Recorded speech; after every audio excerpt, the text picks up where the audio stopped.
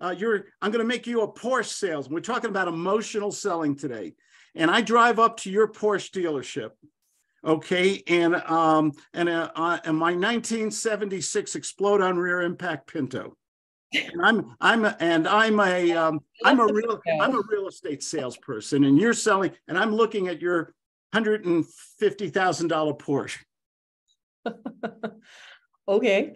Uh, how would you sell me emotionally, knowing I'm a salesperson driving this old crummy car? What would you what would you tell me all about how a Porsche goes to zero to 60 in three seconds? Probably not unless that was really important to you, but what how would you qualify how would you emotionally sell what would be a good way to emotionally sell me and close me knowing what my profession is and what kind of crummy car i drive yeah um if you really want to be successful in the sales driving this car really is going to improve your bottom line.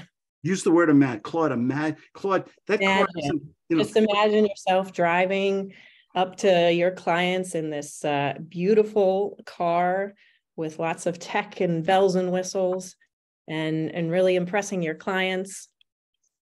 Impressing my clients. What if i impress clients will that what will that result in that's going to result in some some sales i think it will is money emotional how many people here think money's a very emotional topic yeah anybody it's it's it's right up there money is very emotional.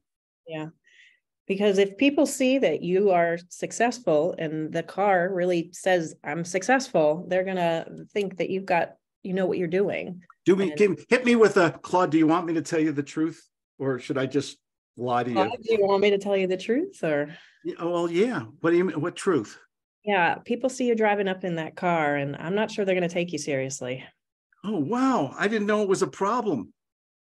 Yeah, I mean that that car, um, yeah, it's a bit of a clunker.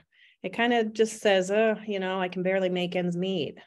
Whereas, you know, if you have a really nice, fancy car and you drive up, people are going to say, wow, okay, maybe this guy actually knows what he's talking about and maybe, maybe he has something to say.